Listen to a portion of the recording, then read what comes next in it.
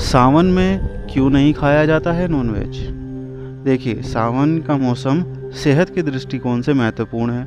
धार्मिक दृष्टि से देखें तो इस मौसम में भगवान शिव की पूजा के कारण मांसाहार का सेवन वर्जित है।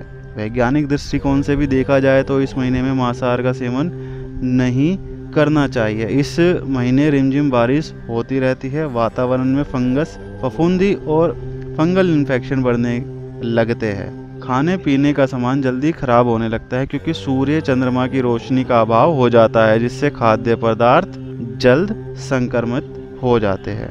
पाचन शक्ति कमज़ोर हो जाती है।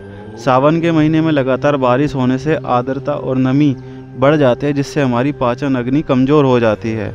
मांसाहार पदार्थों को पचने में ज़्यादा समय लगता है, पाचन शक्ति कमज़ोर होने से नॉनवेज फ़ूड आंतों में सड़ने लगता है। पेट भारी लगने लगता है, चूँकि हमारा पूरा शरीर हमारे पाचन अग्नि पर ही निर्भर है, जिससे हमारी तबीयत खराब हो जाती है।